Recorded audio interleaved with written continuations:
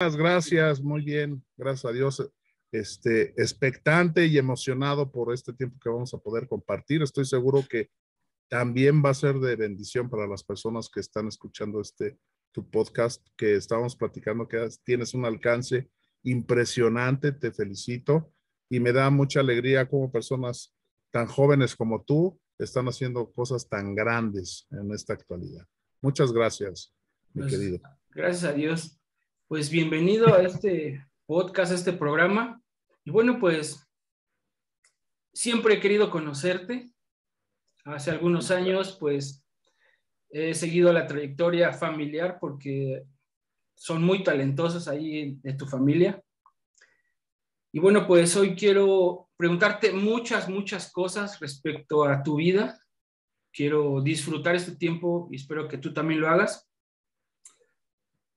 La primera pregunta, ¿qué se siente venir de una familia de músicos?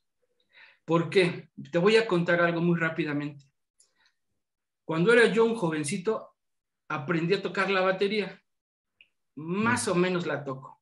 Entonces, Casualmente, uno de los de mis maestros fue alumno del señor Álvaro López. Álvaro López, el voz, el papá. Mm. Entonces, de ahí, pues, después conocí a Rescue Band, a Álvaro López. Bueno, Torre Fuerte ya lo conocí hace muchos años, pero después conocí a Rescue Band y amo Rescue Band por, por lo, que, lo que significa como baterista. Entonces después pasó el tiempo y conocí a un Rubén López que trabaja en el audio y que hace maravillas con la gente, con lo que cantan, con lo que tocan, con todo lo que hacen. Ahora mi pregunta es, ¿qué se siente ser hijo de uno de los más grandes o el más grande baterista, creo yo, mexicano? Wow, pues, ¿qué te puedo decir? Pues, de entrada, pues es mi padre. Lo amo, y, fíjate que siempre fui su fan. Esto, esto que acabas de platicar me lleva mucho a cuando él regresaba de esas giras de Paul Muriat. Mi papá grabó con prácticamente todo México y parte de Estados Unidos. Pero viajó mucho con grandes artistas, como tú sabes, bueno, los que no, no saben que están escuchando este podcast. Mi papá fue baterista de los hermanos Castro, de los super hermanos Castro, que se iban a hacer los super shows a Las Vegas y bueno, viajaron por todo el mundo, Brasil, Venezuela, todo Sudamérica. Pero él regresaba de esos viajes, él se iba a una gira, para mí era muy impactante en esa época porque yo estaba muchísimo más joven, era un jovencito de tal vez este 11, 12 años. Y él se iba a giras de cuatro o cinco meses con Paul Muriat, un director francés de grandes éxitos a nivel mundial. Y si iban a una gira en Japón, en, aquella época no existía el Internet, no existía el celular, no existían Messenger, no existían videoconferencias, que hoy tenemos la gran bendición de globalizarte y estar cada vez más cerca de tus seres queridos, ¿no? Pero en esa época mi papá se iba y yo era el, el niño más feliz al escuchar los cassettes que traía. En esos grandes conciertos en Japón los grababan y siempre mi papá llegaba y mira, escúchalo, porque él sabía que lo disfrutaba mucho. Y para mí no existía nada más hermoso que escuchar a mi papá tocar a esos niveles, donde Paul Muriat le, le dedicaba una canción para que él tocara un solo de batería en Japón. Entonces, pues ya sabes, los, los orientales que son amantes del arte, pues para ellos era impresionante esa época. Pero cabe la, la pena mencionar esto. nosotros venimos de campesinos. Los papás, los papás de mi papá, mis abuelos, pues campesinos, ¿verdad? De Guanajuato, pero ellos decidieron avanzar. Y no esto, no tengo nada contra la gente campesina, al contrario, es gente que trabaja como, como muy pocos. Pero ellos quisieron avanzar. Y eso es lo que mi papá también nos enseñó. Mi papá, bueno, pues fue una persona súper exigente con nosotros. Fue una persona dura, ¿verdad? Porque así fue educado. Tú sabes que en esa época, pues, las, las letras entraban a golpes y la música entraba a baquetazos. ¿no? Y entonces, pues así mi papá nos educó, mi papá este, nos enseñó a que las cosas no eran fáciles, que tenías que luchar por ellas. Y yo creo que a pesar de que hoy la, el mundo nos enseña que, que tenemos valores y que no cualquier cosa tenemos que denunciar, ¿verdad? Sí. Cualquier cosa meten a la cárcel a muchas personas y pues en esa época no era así, o sea, nos enseñó a que teníamos que, que hacer las cosas con excelencia y yo creo que pues fue una de las cosas que, un legado que mi papá dejó en nosotros, que seguimos luchando, desde luego, que estamos muy lejos de llegar a la tal vez perfección de hacer las cosas, porque pues al final de cuentas somos imperfectos y seres humanos que nos equivocamos, pero yo creo que el éxito no está en que llegues a la meta tampoco, sino en que te caigas y te levantes. Pero sobre todo cuando pones a Dios delante de tu vida, es el, Él es el que lo hace, entonces pues las cosas se hacen de diferente manera. Las cosas se hacen más fáciles cuando ponemos a Dios en nuestras vidas. Y entonces, pues imagínate, mi papá, pues un tremendo músico y, que aparte, fíjate, yo estudiaba y en las vacaciones de la escuela yo era su secre. En esa época se le decía su secre. Tú seguramente sabes lo que es un secre, pero estoy seguro que muchos no saben, bueno, secre, ¿qué, qué será un secretario? pues el secretario era el que le armaba la batería, el que manejaba, el que iba por las tortas, ¿no? El que iba por, el refresco, etcétera. Y yo prácticamente conocí todos los estudios de grabación de este país. Conocí a todos los ingenieros, conocí a todos los productores, arreglistas, músicos. Entonces, pues era una cosa preciosa con la cual yo podía compartir y convivir con mi papá, que era ya más allá de una relación de papá-hijo, era una cosa que nos unía, que era la música. Entonces, pues era hermoso pasar tiempo con él, tenerlo como un precedente y sobre todo, pues como un pilar en mi vida. Sí, claro. Ahora que lo, lo, comentas, yo le preguntaba a él que era mi maestro, le decía, ¿y qué te enseña? Platícame, ¿qué te cuenta? ¿Qué te enseña? ¿Cómo te enseña? Y me dice, paradiles. ¿Pero qué paradiles? y yo no entendía, pero llevaba un bloque de hojas y esa era todo lo que estudiaba el chavo. Puros paradiles, horas tocando el muchacho, horas, horas, horas tocando. Y de repente un día me dio un baquetazo en la mano. Me dice, afloja esa mano. Y yo, ¿por qué, ¿por qué me pegas? Dice, perdón, es que así aprendí. Pero digo, son experiencias porque eso se queda en el corazón yo no me dedico a la, música, yo toco porque uno tiene que a veces entrarle a todo como pastor, como hijo de pastores, como sobrino, primo, hermano de pastores, uno le entra a todo. Entonces, el talento de, del maestro Álvaro López, pues ha ido a generaciones, a lo mejor él ni, ni cuenta ni sabe qué tanto ha repercutido en Dios, pero pues ha pasado y seguirá pasando. Totalmente, yo creo que mi papá sí dejó un legado, un gran legado, porque también, este, como tú conozco a muchos exalumnos de él, pero de las primeras generaciones, uno de ellos es Ricardo Capón. Seguramente lo conoces. Ricardo Capón es baterista de Flans, de Pandora, de, bueno, de muchos artistas. Otro nivel. Ajá. Y pero es una muy amigo nuestro. yo me acuerdo, fíjate que, que de repente yo estaba desayunando, pues un chamaco de 13, 14 años y de repente llegaba, bajaba este eh, eh, Capón y yo, bajaba llorando, Ricardo.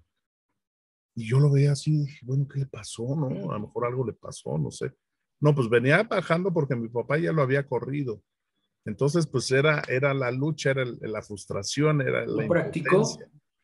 Así es. Entonces, pues mi papá era duro, duro, pero, pero pues nosotros no lo veíamos tan grave porque pues era muy suave con los alumnos. Obviamente con nosotros como hijos pues era otra cosa, pero los alumnos los trataba más tranquilo, era más empático, pero aún así fue una enseñanza que los mismos alumnos no, no olvidan de parte de él, ¿no? Y que sobre todo así como tú lo dices, para dirles, ¿no?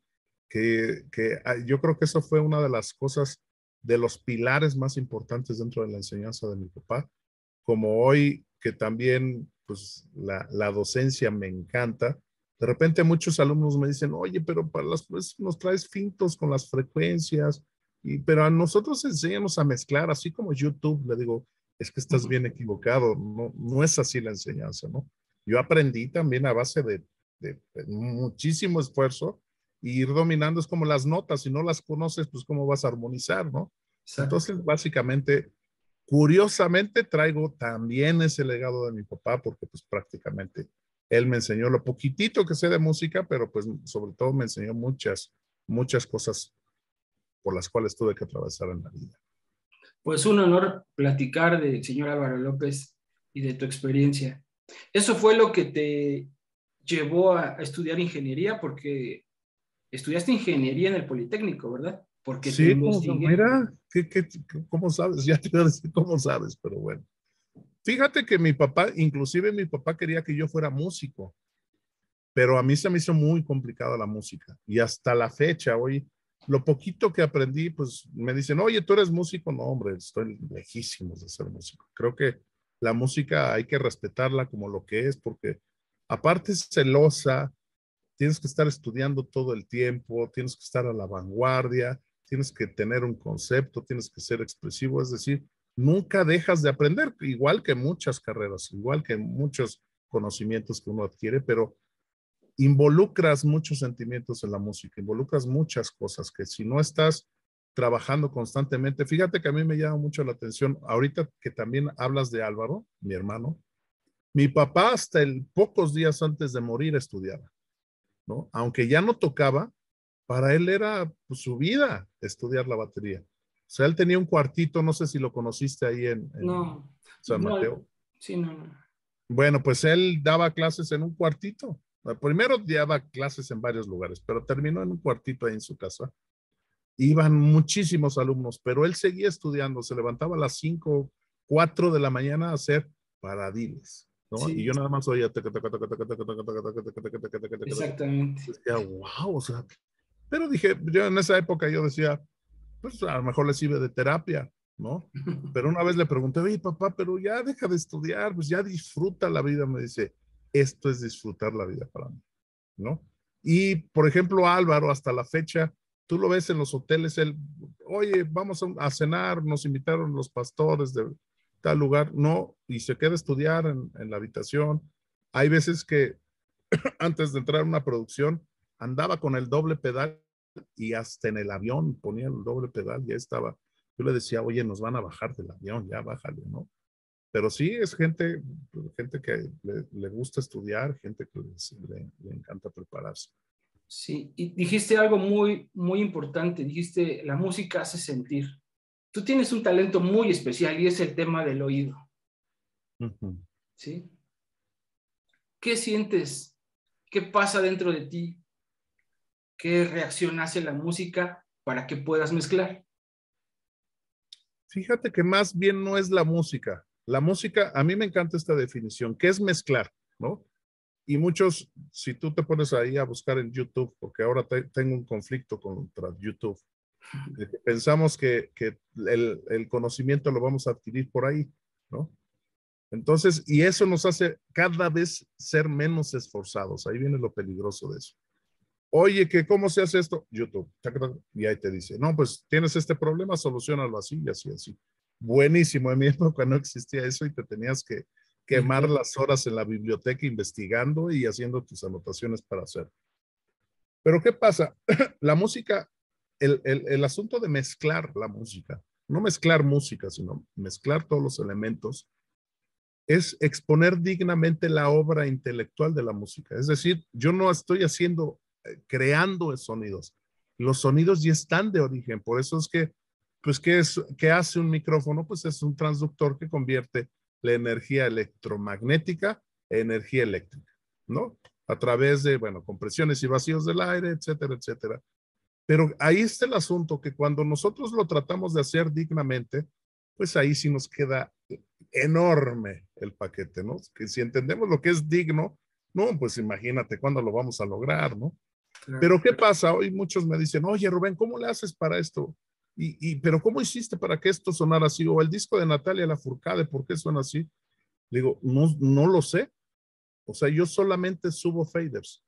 Y muchos se ríen, piensan que es un chiste, pero la realidad es esa. Obviamente hay un gran conocimiento atrás de eso, hay grandes técnicas, ¿no? No te voy a decir que, que así me desperté y estoy mezclando así, pero sí existe algo, algo que va más allá de lo natural, de lo entendible, que es la inspiración. Eso. Y en la música es precisamente eso. Cuando tú escuchas un gran músico, pues a lo mejor puede tocar las 800 notas en un, en un segundo, que dices, wow, este cuate es una máquina. Pero cuando escuchas a un músico que en el primer acorde hace que tu piel se erice y que tu corazón sea tocado, que sea transformado, que haga vibrar cada célula de tu, de tu organismo, pues eso es, que es, eso quiere decir que está impactando al ser humano. ¿verdad? Y eso tiene que ver mucho, es cuando hay esa inspiración. Y la inspiración no viene de parte del hombre, solamente puede venir de un solo lugar que viene, es del cielo. Entonces, pues ahí, y no es cliché, no es algo de, no, este, me han puesto por ahí en YouTube, es que, ah, bájale a tu falsa modestia, ¿no? Ya ves que tú siempre eres muy religioso, luego es que es una realidad. Cuando tú pones a Dios por delante de tu vida, sobre todo, como dice la palabra, todo lo demás va a venir por añadidura. Entonces, yo cuando estoy mezclando, lo primero que hago es orar. Dios, sé tú en medio de esta música, sé tú, aunque no sea música cristiana, aunque no sea música que habla de Dios, pero todo, todo mi trabajo es como si lo estuviera haciendo para el Señor. Y entonces Dios hace cosas sorprendentes cuando estoy en esa situación. Y, y, pues la onda es, pues nada más estar en esa sintonía, ¿no? Que venga la inspiración, que vengan ideas, que vengan muchas cosas. ¿Para qué? Para que mi vida tenga un propósito a través de la música. Y es ese que la gente que está escuchando, tal vez a Natalia Lafourcade, no sé, tal vez a Emanuel, tal vez a Ricky Martin, digan, es que no sé qué tiene, pero tiene algo especial. Y es eso, es la, que es una, una, vida con propósito. Yo no sé si algún día viste la película, la de Soul, se llama Soul la, película. Ah, claro, por supuesto, preciosa película. Está muy bonita esa película. Entonces, hace vibrar, hace sentir, expresa todo lo que es la música en el alma y lo tratan de, de interpretar perfectamente como, como hay algo dentro de uno que viene y que sale. Así es. Así es, totalmente. Yo creo que pues no hay otra forma de impactar corazones, no hay otra forma de ministrar vidas. La música es poderosísima. Yo creo que Dios usa la música de una forma muy, muy especial, pero también yo creo que usa la vida de las personas que de cierta forma estamos involucrados directamente o indirectamente. ¿Por qué? Pues porque eh, me lleva mucho esta, esta parte y eso lo platico mucho con mis, con mis alumnos. La música sirve para muchas cosas. Para enamorarte, ¿no? Yo, yo me acuerdo cuando, cuando me enamoraba de mi esposa y, muchas veces nosotros no tenemos la capacidad de decirlo, ¿verdad? Por ejemplo, podríamos decir, como yo te amé, jamás te lo podrás, pero muchas veces no le podemos decir a nuestra esposa, a nuestra novia, esas palabras, ¿verdad? O tal vez simplemente con algunas melodías escuchamos a grandes músicos como Kenny G, Escuchamos a, grandes obras clásicas como Beethoven, este, Mozart, que por medio de la música tantas personas en este mundo se han enamorado, que es verdaderamente hermoso, ¿no? Sí, es increíble esto. Oye, y en esos oídos que reciben toda la información, ¿qué tan a menudo escuchan la voz de Dios? Ay, Mira, muchas personas piensan que de repente uno está loco. Dice la palabra que para muchos va a ser locura, ¿no? Pero yo sí he escuchado la voz de Dios. No la he escuchado como algo poderoso que me diga, ¡ay, Rubén! ¿no? O sea, pero sí he escuchado una voz tan, tan audible, ¿verdad?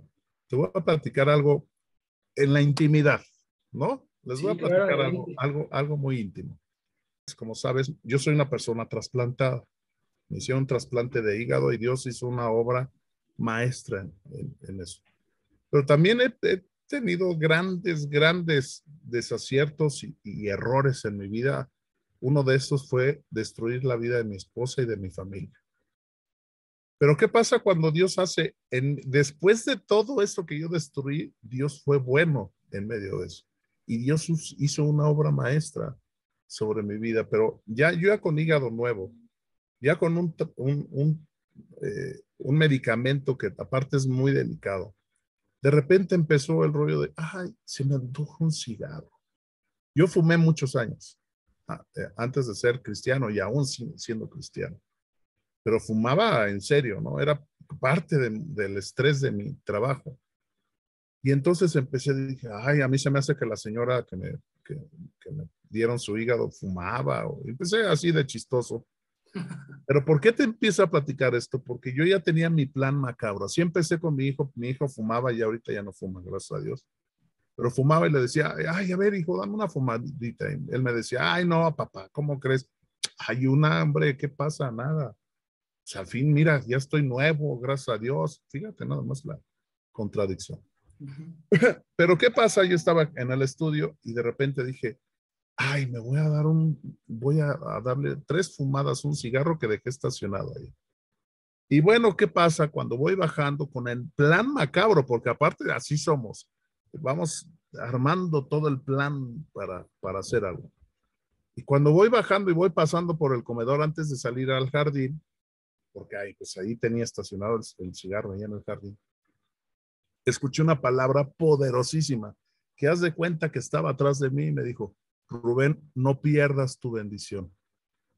Pues yo cuando me, me, quedé así dije, no, no, no, qué barbaridad. Yo estoy escuchando, ya estoy teniendo alucinaciones, ¿qué es eso?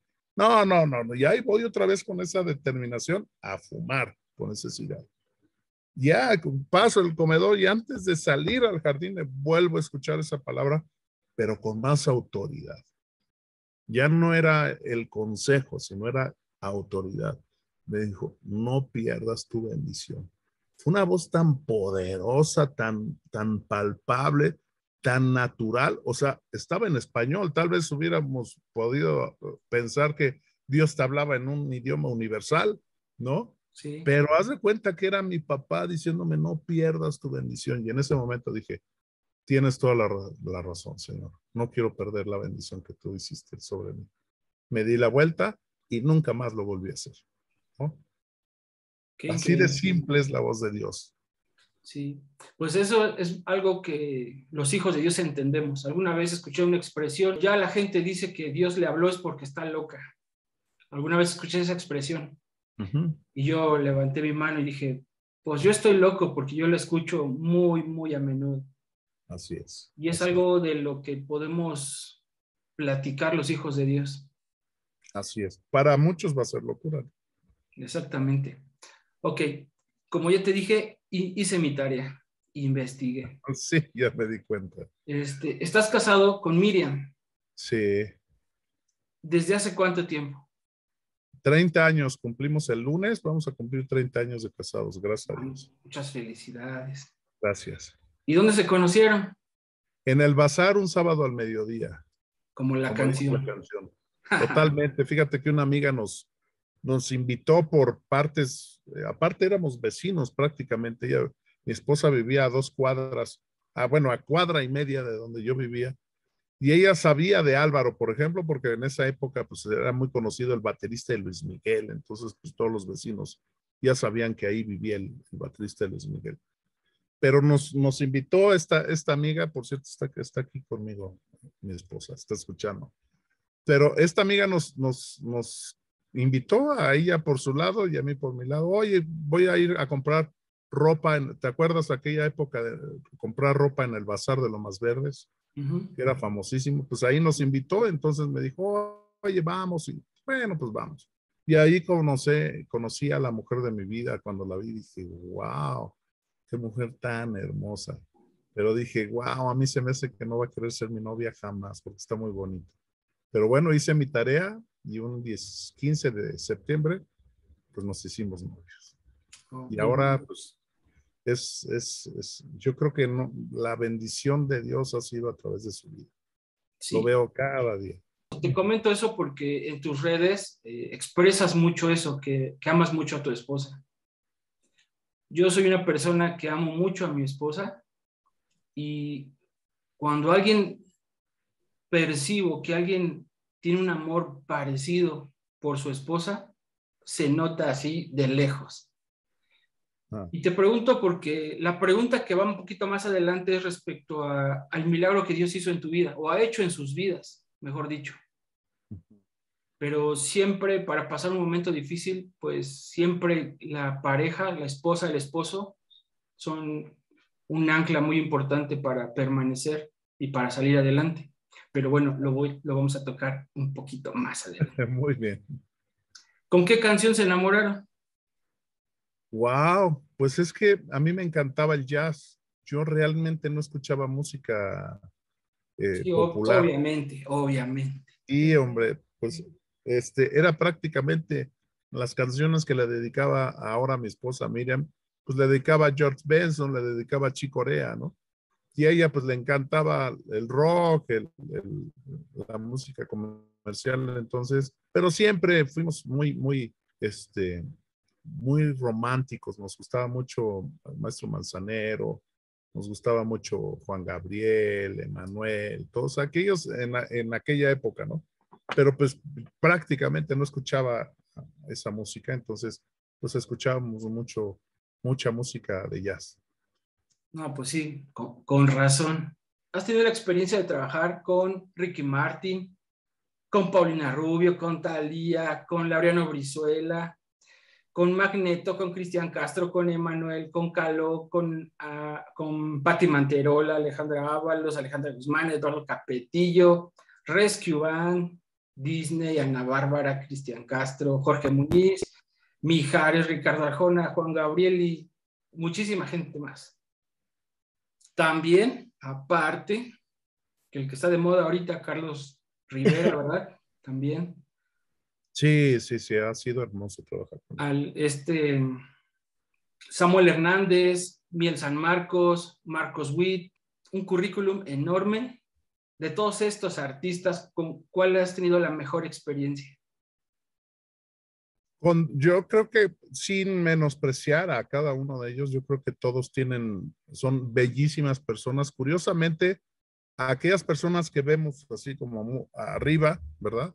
Como los grandes artistas, es la gente más sencilla. Y hay veces que los que no son nada es la gente más déspota, más, más, eh, eh, tienen el ego muy, muy encima. Pero yo creo que de las dos mejores experiencias que he tenido en mi vida, Ricky Martin y Marcos Witt. Son las dos personas que han marcado mi vida por, por los gran, gran ser humano que son. Bueno, no, nunca me esperé que, que fuera Ricky Martin. Digo, a veces uno piensa que, que puede ser alguien, a lo mejor como dices tú, con menos categoría, menos fama, pero qué, qué, increíble que pueda ser Ricky Martin y bueno, Marcos Witt. Sí, sí, sí, desde luego que sí, una persona súper sensible, súper humana, súper natural, ¿no? Yo creo que después de, de, la gran, el gran artista que ha sido, yo creo que es un, un, ser humano espectacular. Que mira que no necesitas ser, ser artista o no necesitas no ser artista para ser un ser humano espectacular, ¿no? Y, y, yo creo que pues desde luego que Marcos Witt ha sido una persona súper amorosa. Repito otra vez, en esa época cuando yo trabajé con Marcos Witt, yo fumaba muchísimo, ¿no?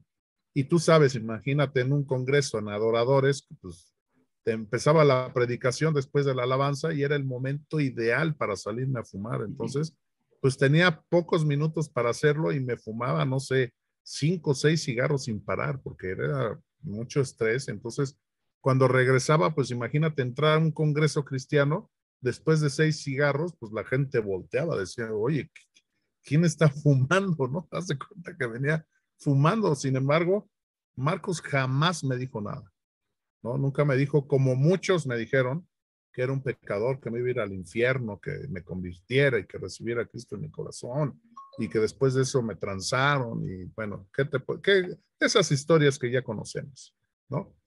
Pero sin embargo, Marcos Witt siempre, pues, siempre fue una persona amorosa, respetuosa, ¿no? Siempre me pedía las cosas con amor. eh, siempre era, era una persona fuera de serie y yo me acuerdo dos, tres ocasiones que me agarró de frente. Yo iba entrando y lo veo, dije, a ver cómo me va, a ver si no me corre o me dice, oye, por favor, ¿no? O sea, pues, pues en estos lugares no fumes, o sea, o, o contrólate. Pues no sé, ¿no? Hoy ya, ya la, la, la humanidad nos dice, aquí no puedes fumar. Si tienes un vuelo de 15 horas, pues ni modo que te bajes del avión, ¿no? O sea, no fumas ahí. Él me hubiera podido decir eso. Sin embargo, siempre se me acercó, hablamos y me decía, ay, mira, te traje unas pastillitas. Nunca me dijo, oye, bájale, ¿no? Siempre fue ese, ese, ese Marcos Witt amoroso. Y hasta la fecha, cuando yo lo llego a ver, lo veo como, como, como un amigo de, de antaño, un hermano de antaño, que pues imagínate, Marcos Witt es el pilar de, de la música cristiana. ¿no? Sí, pues qué padre, qué interesante que una semilla tan sencilla de un hombre con una trayectoria, con un ministerio, pueda quedarse en el corazón de, alguien, ¿verdad? Así es. Y sabes que, que, yo recibí a Cristo en, mi corazón, nadie me predicó. O sea, fue a través de escuchar 100 ovejas con Marcos Witt. Él me, terminando un congreso me dijo, oye, Rubéncito, siempre era así, ya sabes, con su voz, ¿no? este, toma, te regalo este disco, estoy seguro que va a ser de bendición. Cuando tengas un chance y no tengas nada que hacer, escucha. Ah, claro que sí, un día en el periférico, con un tráfico insoportable, me acabé todos mis discos de jazz y dije, ay, pues me queda todavía el disco de Marcos Witt después de cinco o seis meses que lo tenía ahí guardado. Y curiosamente no empezó en el track 1, como todos los CDs, empezó en el track 6 con 100 ovejas. Y ahí fue cuando Dios me destruyó, me reconstruyó, me moldeó, habló a mi corazón, llegué a mi casa y le dije a mi esposa, ¿sabes qué? Jesús está vivo, no está muerto como yo pensaba. Qué increíble. Y, mi esposa me dijo, ay, mi amor, qué lindo. Le digo, no, no me digas qué lindo.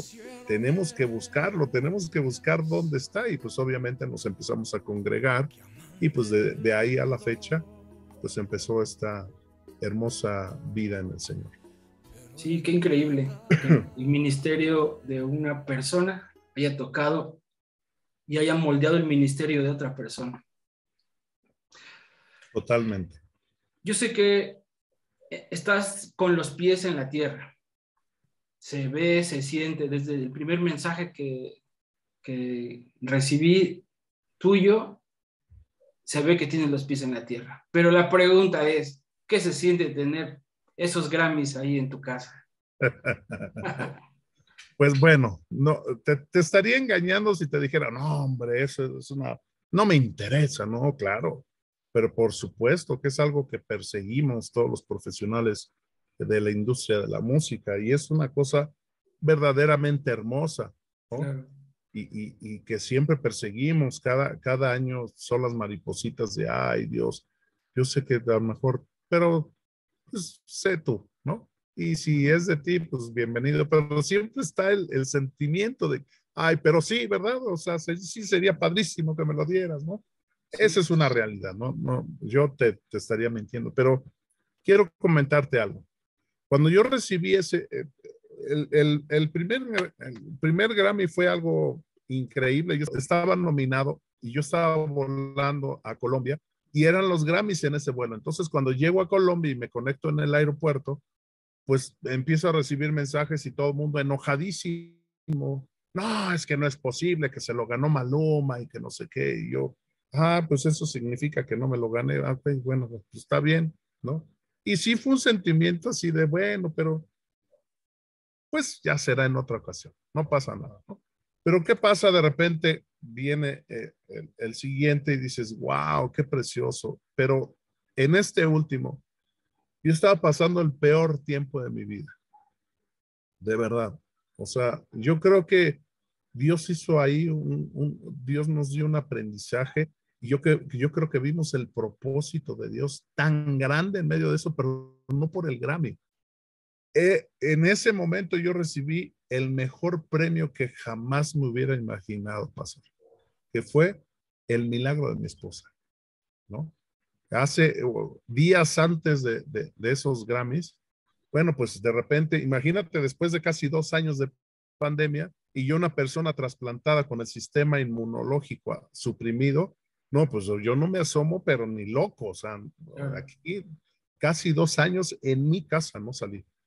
Entonces, bueno, viene el disco de Carlos Rivera y oye, por favor, es que necesitamos que tú salgas. Mira, es más, te, ponemos hasta un traje de astronauta, ja, ja, ja. No, no, no, pues bueno.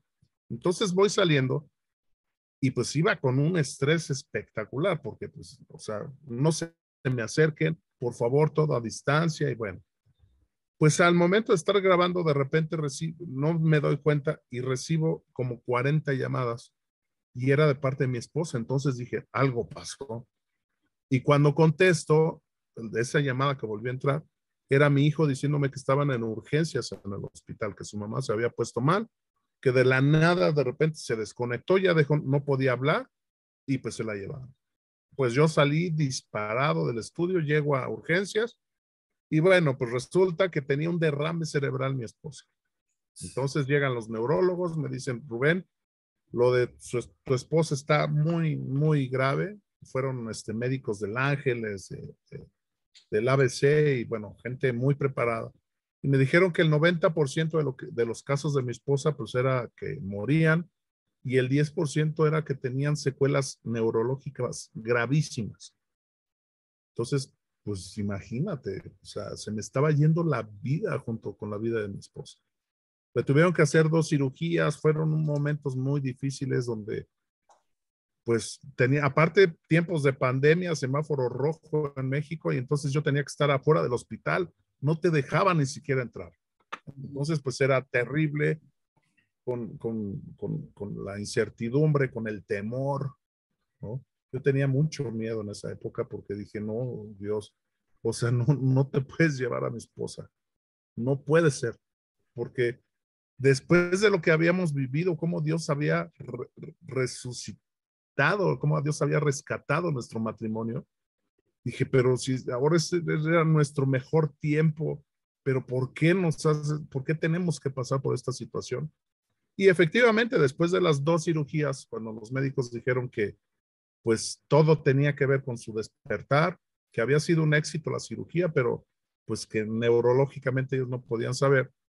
Pues yo hablé con el director del hospital, le dije, por favor, denme oportunidad de ver a mi esposa, o sea, ella me necesita y yo la necesito, necesitamos vernos.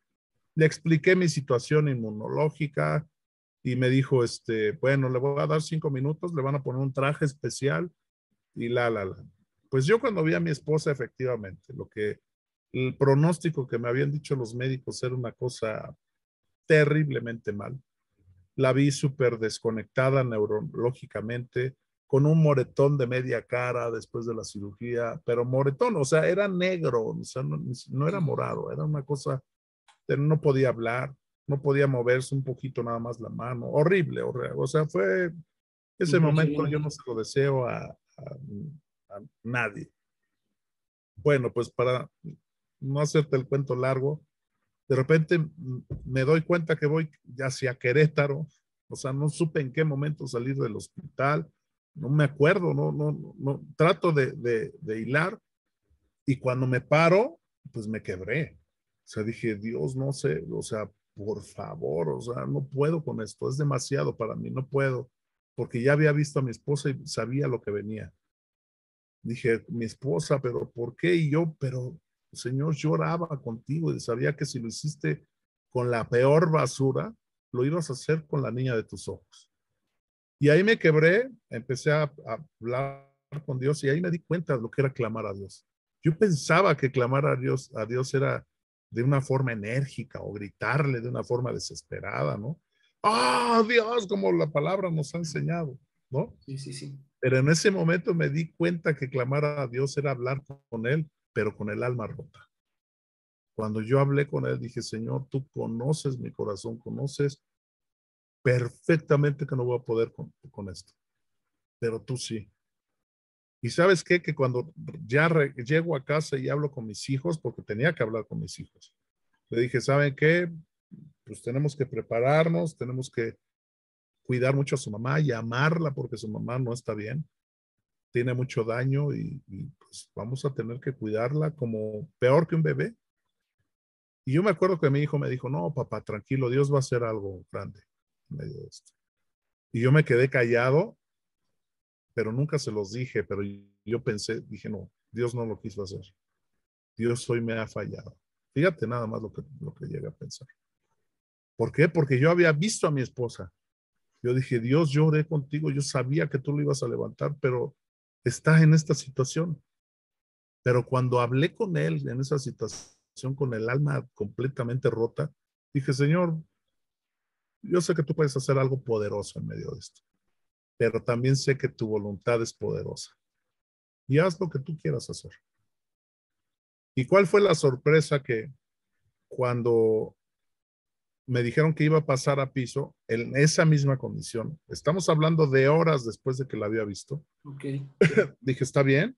No, pues ya, este, ya puedo, me dicen, ya puede estar con usted con ella, porque como los hice, les hice la vida imposible, pues dije, bueno, pues ya, ya, y, sirve que me enseñan a cómo empezarla a cuidar y, y pues dije, sí, sí, sí, no se preocupe, nosotros lo enseñamos, todavía me dijeron eso. Y entonces, pues, ¿cuál fue ese día, ese, momento que yo estaba adentro de la habitación y esperando que abrieran esa puerta para que entrara la vida de mi esposa. Pero cuando abrieron esa puerta, yo me levanté y las piernas se me doblaban. O sea, dije, híjole, wow, voy a ver a mi esposa otra vez. ¿Y cuál fue la sorpresa que mi esposa levantó la cabeza y me dijo, mi amor, mi amor, ven porque quiero orar por ti. Y yo cuando la vi, o sea, era una persona normal, sin moretón. O sea, yo había visto una persona completamente deformada de la cara porque estaba hinchadísima, sin, con un moretón, sin, sin una, la cuenca del ojo no la tenía, era una rayita. O sea, una cosa verdaderamente muy, muy fuerte. fuerte. Cuando yo la voy viendo, me, me solté llorando y hasta los enfermeros se salieron y dije, Dios, hiciste algo poderosísimo, hiciste un milagro en la vida de mi esposa. Pasaron, pasó el proceso, yo le pedí a, Dios, le dije, Dios, tú ya hiciste una cosa poderosísima en mi vida. Y ahora acabas de hacer un milagro poderosísimo en la vida de mi esposa. No queremos ser sobrevivientes nada más. Muéstrame el propósito de esto. Claro. Y Dios hablaba a través de la vida de Pedro sobre mí y, me llevaba a esos lugares donde le dijo, ven y camina sobre el agua. Entonces, Dios ministraba mi corazón, me decía, ¿te acuerdas que le dije, ¿tú qué harías? ¿Tú qué harías, Que, que, Dios te dijera, ven y camina sobre el agua y pudieras sostenerte en el primer paso. Pues mira, bueno, así como soy, me aventaría y a ver qué pasa.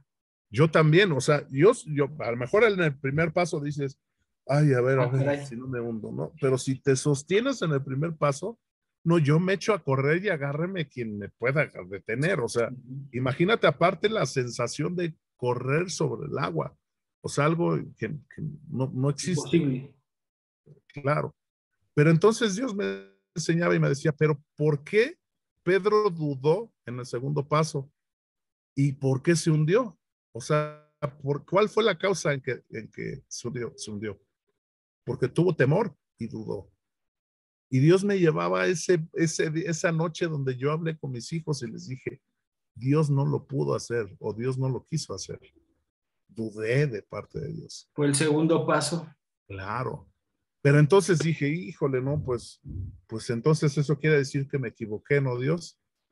No confié en ti y, y tuve temor y dudé pues sí, como Pedro. Y Dios me decía, pero ¿sabes por qué permití que Pedro dudara, que tuviera temor y se hundiera? Porque entonces yo lo levanté igual que ti, igual que la vida de tu esposa. Entonces, wow, dije, no, pues es que entiendo el gran propósito de Dios, de esas, de esas crisis que pasan en nuestras, en nuestras vidas, de ese tal vez de ese cáncer que ha tocado a la puerta de nuestras casas, tal vez de ese derrame cerebral que tuvo mi esposa para mostrarnos su poder en medio de eso. Y entonces, retomando ese punto del grano, ¿no? Entonces, imagínate yo con, la, con mi esposa tomado de la mano porque aprendimos a sumar, aprendimos a multiplicar, aprendimos a caminar. Hijo.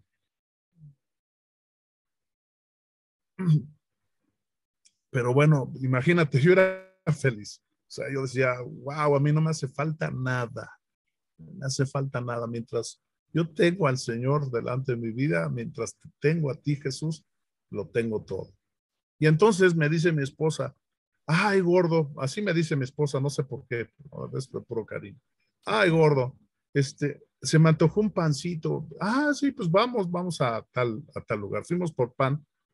Yo no sabía ni cuándo eran los Grammys. A mí no me importaba nada. Yo estaba cuidando a mi esposa. Estábamos en, lo más hermoso de nuestras vidas. Y entonces me dice, oye, ¿cuándo son los Grammys? Le digo, no tengo idea pues a lo mejor ya no tardan. Dice, sí, ¿verdad? Para eso, bueno, parte de este hermoso trabajo es que soy parte del jurado de los Latin Grammy. Entonces, pues obviamente ni voté, ni me acordé, ni, y ahí tenía las plantillas. No, pues que voy a estar llenando, no. Estaba yo desconectado de todo eso. Y, y le digo a mi esposa, ¿sabes qué? Pero ahora tengo tanta paz. No sé por qué tengo tanta paz. O sea, no tengo ni, ni, siquiera esas este, maripositas en el estómago de que, ay, ay, pues ojalá, ¿verdad? Pues estaría padre, que es lo que todo el mundo soñamos, ¿no? Y entonces, ¿cuál fue nuestra sorpresa? Que llegando a casa, mi teléfono empezó a sonar, ping, ping, puras notificaciones, pero como loco, hasta dijimos, ¿qué le pasó? Tembló, ¿qué onda, no? Y veo, y pues ahí venías, muchas felicidades, y qué bendición. Y, y, hoy puedo decirte que yo creo que el mejor Grammy que me he ganado en mi vida ha sido la vida de mi esposa. ¿no? Pero en medio de eso todavía Dios no nos da de acuerdo a nuestra necesidad. Nos da de acuerdo a su gracia. Y no solamente nos dio el Grammy, no solamente nos dio el Latin Grammy, sino nos dio el Grammy americano después. Así es el Señor, ¿no? Dios conoce nuestro corazón, no tenemos que decirle, ay Dios, oh, es que yo quiero ganarme esto, no, Dios conoce también nuestras, nuestras, este, nuestros deseos, pero en su tiempo todo es perfecto, porque ahora pues yo pongo la vida de mi esposa por delante de esos grandes. Sí es hermoso, pero pesa mucho más mi esposa, ¿no? Se los quise compartir porque pues sí. Yo creo que es importante. Pues es, es, muy bonito saber que, como dice la palabra, Él pondrá mesas delante de nosotros, en presencia de nuestros angustiadores. Dios les dio el milagro, la oportunidad de, de valorar algo tan hermoso como es la pareja, el matrimonio. Pero no solo eso, sino aparte les premia con un reconocimiento mundial. Sí. Y bueno, al fin de cuentas, yo creo que son esas coronas que le, entregamos a Dios, ¿no? Así Todo lo que hemos hecho, todo lo que han hecho, lo que se ha logrado, Dios, aquí está, porque dependemos de ti y todo lo que tengo, pues es tuyo. Creo que esa es la interpretación de tu corazón, de lo que Dios les ha dado, porque sinceramente se ven muy bonitos en las fotos. Hay una foto que está lleno de besitos. Ah, sí, pues sí. creo que fue reciente y, bueno, pues son tantas cosas y, yo sé que hay mucha gente sufriendo con muchas cosas así. Hay, los hospitales están llenos, no da tregua a la enfermedad, el dolor, la tristeza. Y yo creo que es muy interesante que la gente escuche que hay un Dios que hace milagros, que hay un Dios que nos escucha, que hay un Dios que nos ama y que pues ustedes son un testimonio, porque tú también viviste una situación muy complicada de, de, salud. Y bueno, pues creo que fue algo muy duro. Sí, definitivamente yo creo que Dios ha sido bueno todo el tiempo, no nada más. Y no, no, fíjate que muchas veces pensamos que cuando estamos necesitados es el momento de acudir a Dios, ¿no? Y hoy hablamos de cosas hermosas, hablamos de cosas por ejemplo, pues sí, el Grammy, veo el gran milagro que hizo Dios sobre la vida de mi esposa, pero cuando hablamos de las cosas, de los desiertos y las crisis que han llegado también a nuestras vidas por nuestras malas decisiones, y que en medio de eso también Dios ha hecho una obra maestra. Entonces, wow, fíjate que pues yo amo a mi esposa, pero la amé desde que, desde que la vi, hubo, una conexión. Mira, no existe nada, yo creo, yo creo que no hay mejor bendición para el hombre que la mujer que ha diseñado para tu vida, porque se convierte en tu cómplice, en tu confidente, en tu amante, ¿no? En tu compañera. Y yo creo que Dios tiene un poderoso propósito en, medio de eso. Y entonces, pues sí empezamos un matrimonio hermoso, siempre ha sido un matrimonio muy bonito el de nosotros. Pero muchas veces pasan situaciones donde nosotros mismos destruimos lo que más amamos. Es, es, es, una contradicción bastante complicada y no se trata de que yo me lavo las manos y yo no fui, fue el diablo, ¿no? Si yo fui, yo me equivoqué y asumo todas las consecuencias de mis actos y me da vergüenza. Pero ahora lo cuento como testimonio de poder de parte de Dios. Yo destruí el corazón de mi esposa por medio de adulterio. Destruí el corazón de mis hijos. Destruí mi familia. Brother, tuve que vivir en un puente, abajo de un puente, viví en la calle, me metieron a la cárcel, me atropelló un microbús. Pero sabes qué? Que cuando yo decidí dar ese paso donde el Señor yo no puedo, pero tú sí, pero hazlo a tu manera.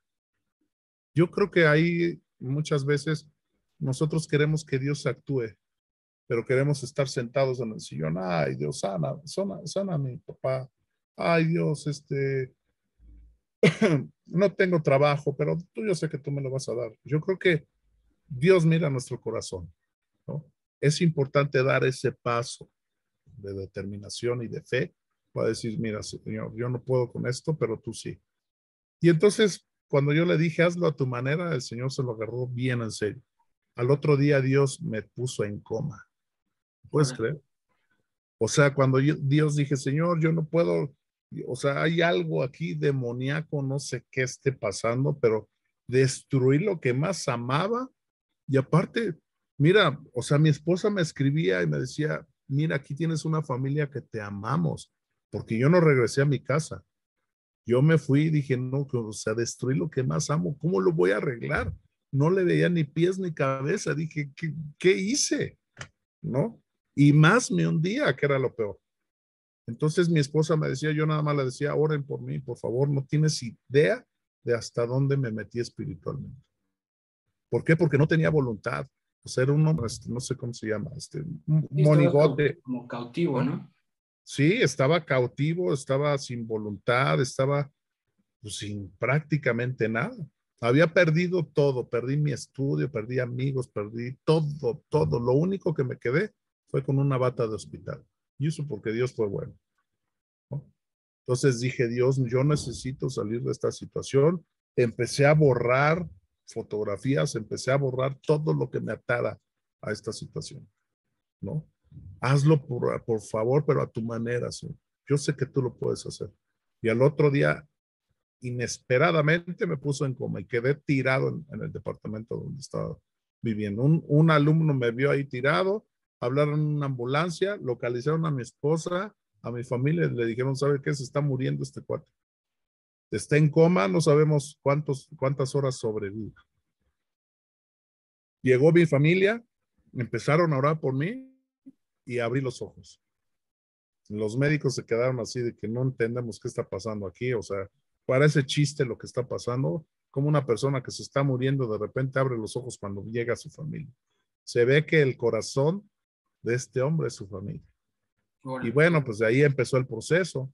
Empezó, me sacaron de Puebla, yo estaba viviendo en Puebla, me trajeron a México. Obviamente me dijeron que tenía una situación en el hígado que ya, ya no podía más. Y empezó pues un proceso, empezó un proceso donde en medio de ese desierto, Dios había otra vez unido esos dos corazones, ¿no? Y aprender otra vez, imagínate, pues yo con qué cara veía a mi esposa, ¿no? Con qué cara veía a mis hijos. Pero sabes qué? Mi familia y mi esposa tenían un millón de pretextos para odiarme. Y eso yo lo entendía perfectamente. Hasta se los decía, ¿no? Pues, ¿qué, qué les puedo decir? Pues, me pueden, o sea, odienme, tienen todo el derecho de odiarme, pues imagínate después de lo que hice, pero solamente una para, para amarme, que fue el amor del Señor.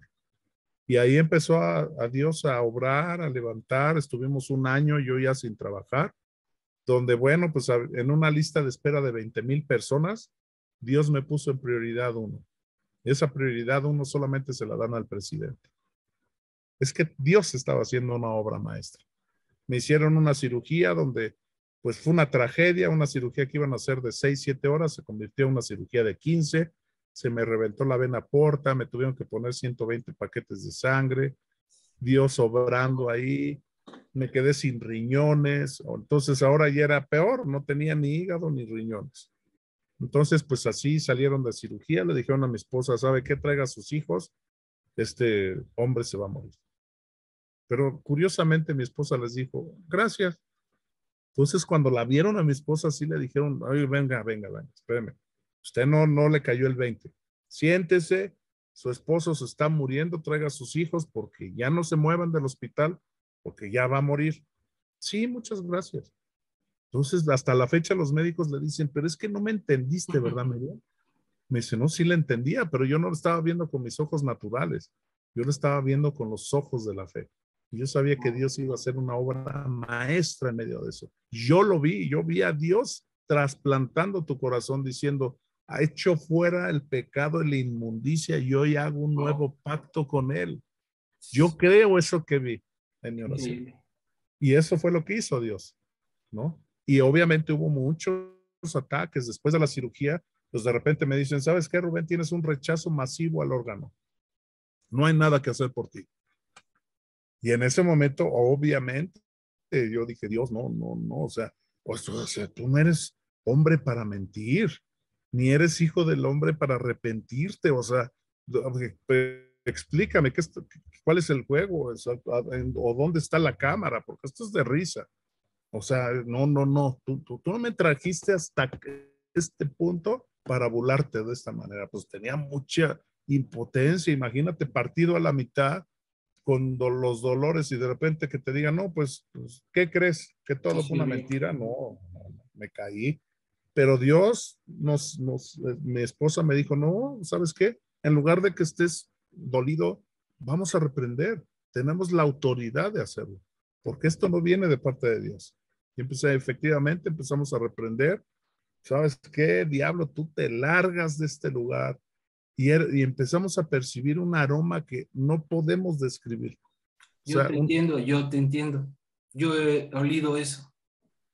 O sea, una, no, es que es muy extraño, no, no, es, no es a flor, no es, es algo muy, muy especial.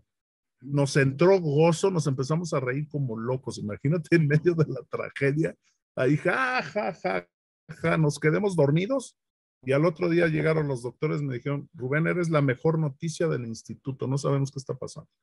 Lo estamos tratando de documentar porque tú deberías estar muerto ahorita. Y no te has, o sea, no entendemos. Digo, pues es que es el Señor. Me dice, a ti Dios te quiere muchísimo. O sea, esto está fuera de, del alcance. Dios estuvo obrando, mi esposa estuvo orando. Miras, ves que en los hospitales cuando te internan, te entregan pues lo que llevas, tus tenis, tu, pantalón, pero ahí en nutrición, lo, en una bolsa especial lo, envuelven en, al alto vacío y así te lo entregan. Entonces, pues mi esposa dormía afuera, ahí en el piso de hospital. Entonces yo estaba angustiadísimo por eso. 4 de enero, imagínate tu esposa afuera, ahí en el piso del hospital durmiéndose. Dije, no. Terrible. Entonces, pues este, yo estaba feliz ahí, ¿no? Entonces empezaron las crisis, empezaron las cosas así. Y de repente otra medicina que me tenía que poner, ¿no? Pues que si esta medicina vale 70 mil pesos, mi esposa sin un peso comía de las donaciones que llevaban a los hospitales, pero Dios empezó a orar todo eso para bien. Y ese, esa almohada que era la de mi esposa, que era mis tenis y mi pantalón, era la almohada de mi esposa. Y ella hizo su cuartito de guerra. Ella se llevó una cobijita, su lámpara de celular y la palabra y declarando, Señor, tú vas a usar esto para poder, para un testimonio de poder. Y sabes lo chistoso, fíjate que hoy lo analizas y dices, no, esta señora estaba loca, muchos decían, porque sabes lo que decían, yo declaro que mi esposo va a salir caminando con estos tenis de hospital. Entonces dices, espérame, ¿cómo? O sea, aparte no tiene lógica. Una persona trasplantada pues sale cuando menos en silla de ruedas, ¿no? Pues imagínate, partido a la mitad y de hígado, bueno, pues efectivamente salí caminando del hospital hasta el carro que estaba como a una cuadra, caminando con esos tenis. Así son las promesas de Dios. Wow, pues increíble. La realidad supera la ficción. El dolor, la angustia, la preocupación que vivió tu esposa, bueno, ya los dos lo vivieron, ¿verdad? De cada lado. Pero Dios siempre ha estado y, y, tienen un propósito increíble como, como personas y como matrimonio, como familia. Tienen un testimonio poderosísimo. Creo que esos testimonios le dan fe a la gente, le dan fe también a las personas que no creen en el amor, le dan fe a todo aquel que escucha esto, porque sin duda es algo increíble, increíble, increíble. Lo que puede hacer la fe y el, y el amor de Dios en nuestras vidas, ¿verdad? Es increíble. Totalmente. Y Dios hizo, siempre, siempre cuando Dios está, es una mejor versión de la situación. Siempre es una mejor versión de nosotros. Y hoy hemos aprendido que sin Él no somos nada, ¿no? Y, yo creo que también esta pandemia de repente nos, nos, debería de estar enseñando eso, ¿no? Que somos tan frágiles, somos tan poca cosa, que hoy podemos estar platicando y mañana de repente con un, el peor de los diagnósticos y la peor de nuestras historias, ¿verdad? Entonces, yo creo que también es importante que en medio de toda situación, lo que hablé al principio de esta plática, cuando tú pones a Dios en medio de todo y que sea tu prioridad, todo lo demás va a venir por añadidura. Así es. Cosas buenas, cosas de aprendizaje, ¿no?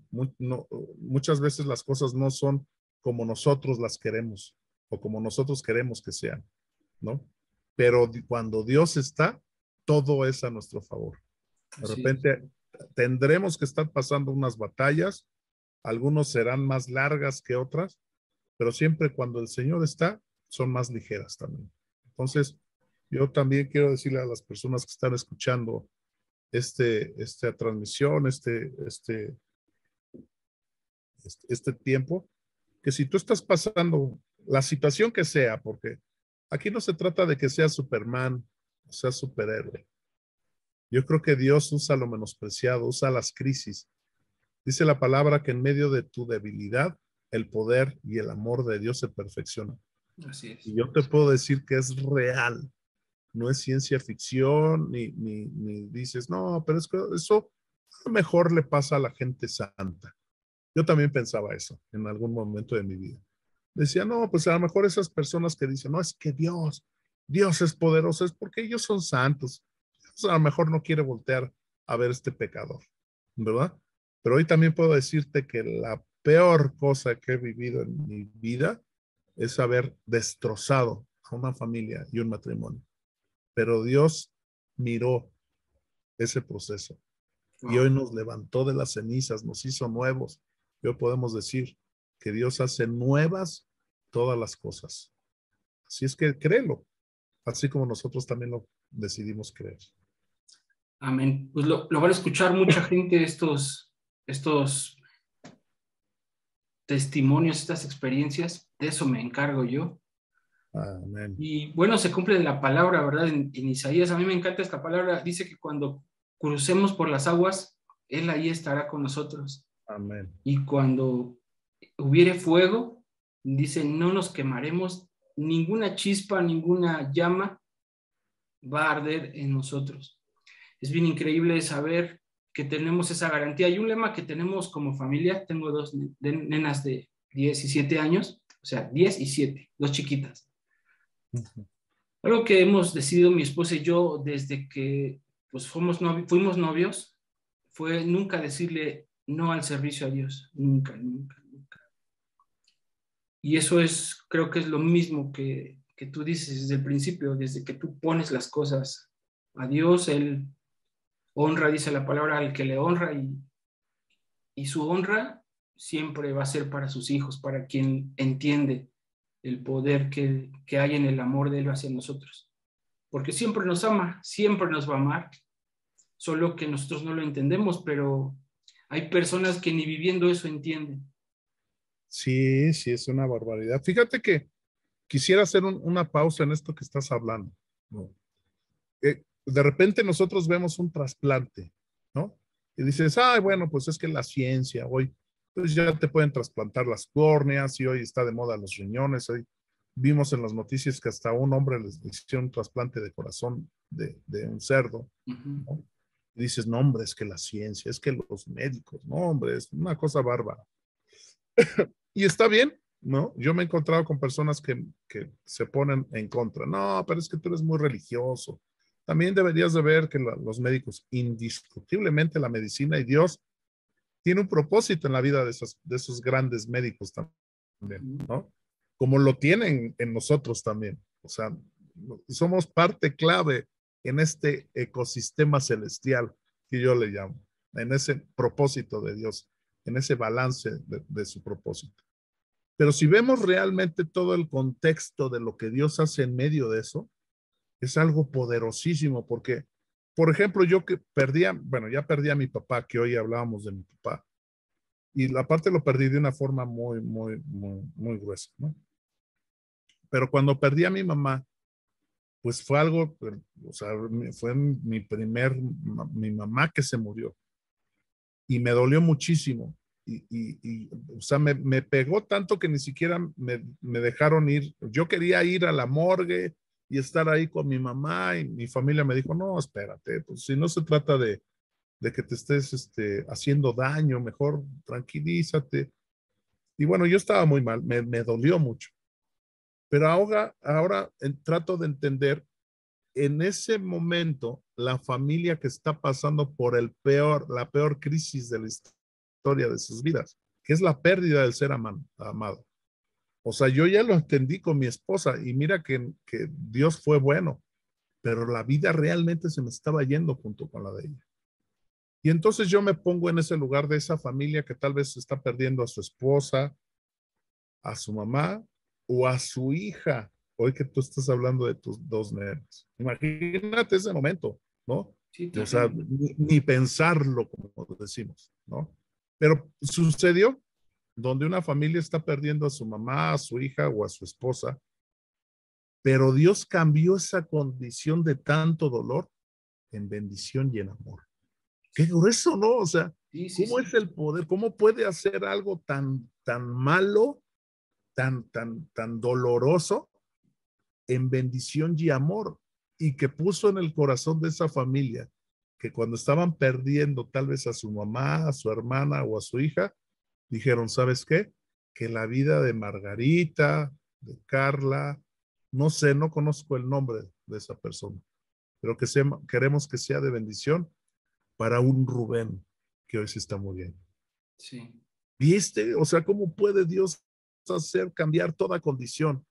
Así es que si tú que te estás escuchando este mensaje, estás pasando hoy el peor día de tu vida, Dios va a hacer la mejor versión de ti. Y si en medio del desierto, en medio de la tormenta, tú estás diciendo como los americanos que hacen un búnker abajo de su casa cuando viene el huracán, cuando viene el tornado, cuando viene la tormenta y se esconden, yo puedo decirte hoy, no corras, no huyas, porque el poderoso en medio de eso ahí está en tu vida.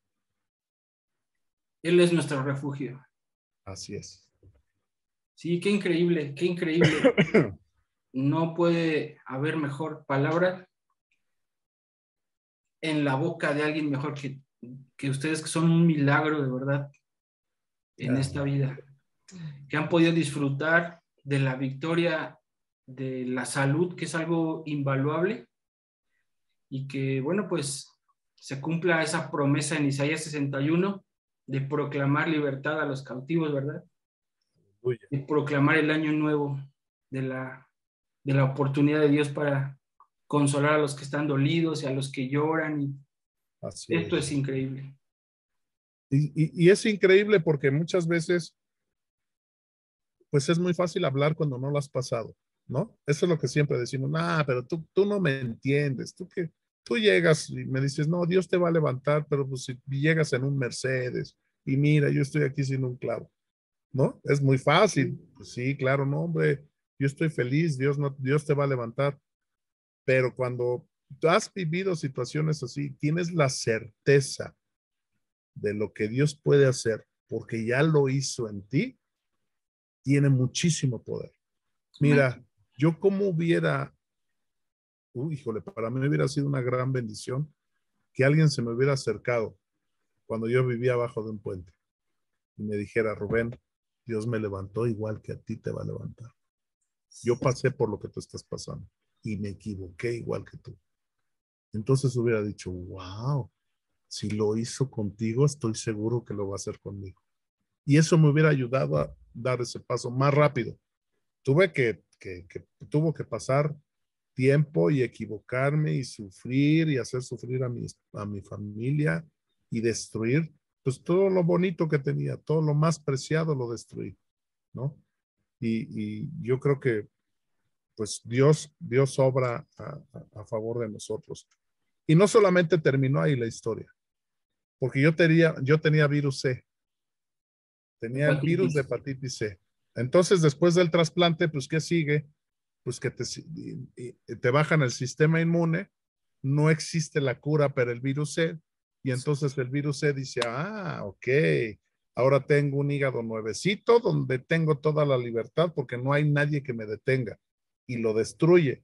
Hay personas que les dura tres años, máximo cinco años. Entonces, pues ese es el regalo que la ciencia te da. Entre tres y cinco años de vida, cuando todo va bien. Pero sabes que a Dios le plació darme más. Yo tengo ya casi siete años sin virus, porque salió después de mi trasplante, salió la cura, que nada más la cura valía un millón cuatrocientos mil pesos. ¿no? Cuando me dieron el precio dije, no, pues es que para qué me lo dicen, mejor no me hubieran dicho y pues ya me aflijo menos. Pero Dios abrió puertas y todo se, dio a favor y entré en un, un tratamiento donde pues ahora ya está indetectable el virus. Así es Dios, lo hace perfecto, no lo hace a medias. Deberían darte Grammys también por eso. No, el, el, Grammy es el Señor. No, sí, claro que sí. no, pues es que son testimonios, te digo, de mucho valor, de mucho valor, porque sé que alguien va a ver este video y va a decir, lo hizo en él, lo va a hacer también conmigo. Totalmente. Mira, si lo hizo eh, alguien imperfecto, pero de este calibre. Yo soy imperfecto, pero de los calibres grandes.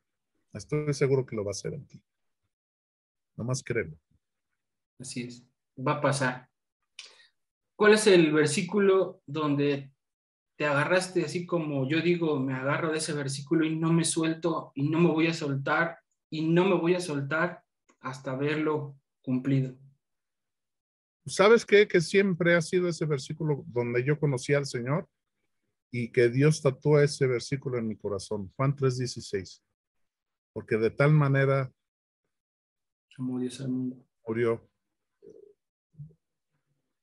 ¿No? Qué increíble. Así es. Pues hemos, pues hemos visto eso, ese amor en nosotros. Y, yo creo que ese amor lo podemos ver en muchas formas sin, sin vivir todo eso. Porque eso rompe a veces nuestro corazón, como dices, y, nos enseña a adorar de una forma, porque digo, yo no lo había entendido así. Cuando dices que clamar a Dios, el, el clamor interno es de un alma deshecha, rota. Eso que burbujea dentro de nosotros eh, en esa necesidad de llorar, de desgarrarse. Por esa canción, la de eh, Shout to the Lord, esa canción está increíble. Clamo al Señor, al creador de todo lo que hay. Sí, algún día tuve una experiencia, igual tuve una experiencia en donde pude ver mi alma, es igual muy extraño de explicar, pero pude ver mi alma desgarrarse y decirle a Dios, te necesito. ¿Sabes? Escuché la voz de Dios y Dios me dijo, eh, sí, pero no es suficiente. Y yo le dije, ¿cómo que no es suficiente si yo desde que te conocí tuve el deseo de servirte, de entregarte todo lo que soy? Dejé tantas cosas. Y me dijo, pero no es suficiente. Entonces como que abrí mis ojos y mi oración cambió, porque le dije, a partir de hoy tengo esa oportunidad de arrepentirme consciente, porque mucha gente dice eso, voy a vivir la vida y cuando esté grande me voy a, arrepentir.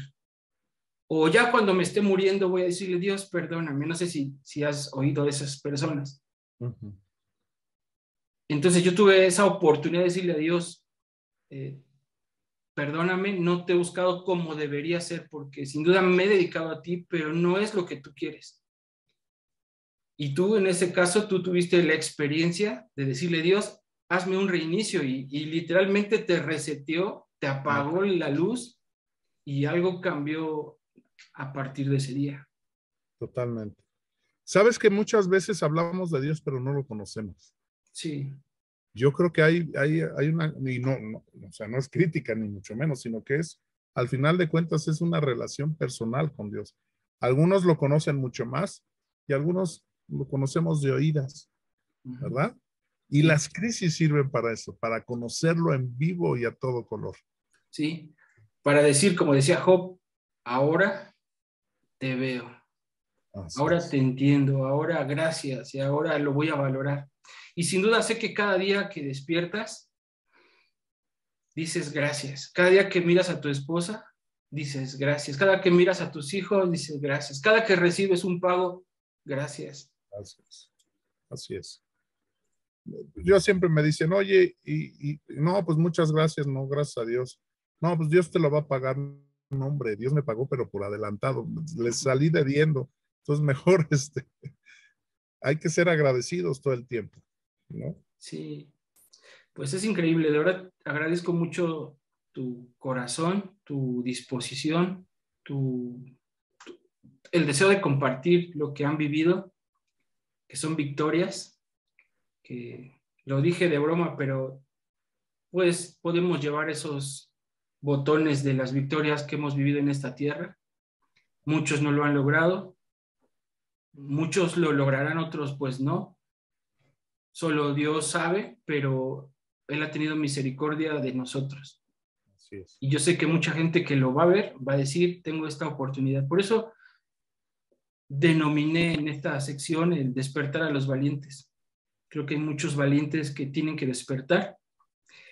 Y bueno, pues para terminar, posiblemente hagamos otro capítulo, si me lo permites. Por favor, claro que sí, John este, Gracias, me gustaría que les dijeras algunas palabras a los muchachos para que estudien, para que se esfuercen, para que despierten. Y bueno, pues, algo que tengas en tu corazón para ellos. Yo creo que la misma palabra, fíjate que curiosamente hay una palabra que la dice 375 veces en la, en la Biblia, que es esfuérzate y sé valiente. Yo creo que Dios nos conoce tanto que es necesario esa palabra todos los días que nos la hable a nuestro corazón. Y yo creo que esta vida es mucho de eso, de esforzarte y ser valiente, de creer lo que Dios puede hacer en medio de eso. Y muchas veces el mundo nos se encarga en decirte que eres un bueno para nada, un mediocre, un, que no vas a lograr lo que Dios puso en ti. Porque déjame darte una buena noticia. Esos deseos o esos sueños que Dios ha depositado en tu corazón no es una casualidad. Esos deseos que Dios puso en tu corazón es por un propósito. Pero más allá de eso es porque también Dios conoce tu capacidad. Y si este mundo se ha encargado en decirte que no vas a lograr nada en la vida, que eres un mediocre, un fracasado, un bueno para nada, no le creas al mundo. Créele al Señor porque tiene algo bueno para ti. Las cosas no van a ser fáciles. Hay que caerse y levantarse. Caerse y levantarse. Y el que se levanta no es uno, porque cuando lo hace el Señor en medio de nosotros, las cosas son mucho más livianas, las cosas son mucho más fáciles. Es solamente tener la convicción de saber hacia dónde ir, porque en medio de eso recuerdas que es siempre la palabra poderosa, arrepiéntete. Y arrepentirse no es flagelarse, oh, sí, me equivoqué, no. Arrepentirte es cambiar de dirección. Y si tú hoy has ido sobre una dirección como yo, donde te has equivocado, donde quizá no ves el propósito en tu vida, es el momento de cambiar y decirle al Señor, tú guía mi vida, porque yo no soy capaz hoy de hacerlo. Y vas a ver cómo va a empezar a cambiar en tu vida. Todo va a ser añadido para bien sobre ti. Créelo, porque Jesús está vivo no está muerto. Así Pues muchas gracias. Por último, ahora sí, por último, ¿por qué, tu libro de cabecera es La cabaña? Ay, porque Dios habló, habló este, mucho a mi matrimonio, a nuestras vidas a través de ese libro. Y, y, y, tienes que leerlo varias veces o ver la película que también es hermosa. Cuando la ves y la ves y la ves o lo lees y lo lees y lo lees, Dios te enseña tanto a través de ese, de ese, de ese libro, de esa película. Pero wow, ¿cómo sabes tanto? Hice mi tarea. Sí, ya veo. No, pero muchas gracias. La verdad es que ha sido de mucha bendición esa película, ese libro sobre la vida de mi familia en general, porque también ese libro habla del perdón y muchas veces nosotros no, no queremos tener la capacidad de perdonar. Y yo creo que hay que tenerla para seguir avanzando. El perdón no te hace tener una relación con las personas que te hicieron daño, pero sí te da libertad.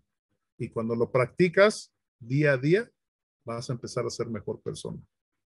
No se, nada más se trata de empezarlo a hacer una sola vez.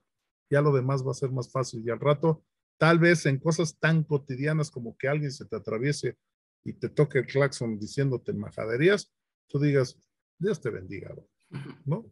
Se hace más ligero todo. Sí, pues un gustazo platicar. No, el gusto es mío, muchas gracias, muchas gracias. Para mí es una bendición poder compartir lo, lo, lo poderoso y lo hermoso que es, es Dios y que lo ha sido en medio de nuestras vidas, que lo ha sido en la vida de mi esposa, que lo ha hecho en la vida de mis hijos. Dios nos ha desatado también promesas y profecías sobre nosotros que hoy cuando las leemos o cuando las escuchamos decimos, wow, pero ¿cómo, cómo, cómo Dios declara cosas buenas sobre nosotros? Y cuando son cumplidas, decimos, wow, Dios, eres, eres, tu palabra es poderosa, tu promesa siempre es fiel. ¿no? Así es. Muchas gracias por la invitación y ojalá que no sea la primera no, no, no, no, no. Eh, hay muchas cosas que, nos bendicen de, todo lo que platicamos. Bueno, todo, pero sé que habrá personas que les bendiga una parte, y luego otra, y luego otra, y luego otra. Claro. Muchísimas gracias, un gustazo eh, platicar, tomar este tiempo. Y bueno, pues lo vamos a estar compartiendo mucho, mucho para que muchas personas lo vean. Y pues. Claro que sí, muchas gracias. Muchas gracias, que Dios los bendiga y esperamos vernos pronto. Así es. Bueno, pues, bye bye. Bye bye. Ok.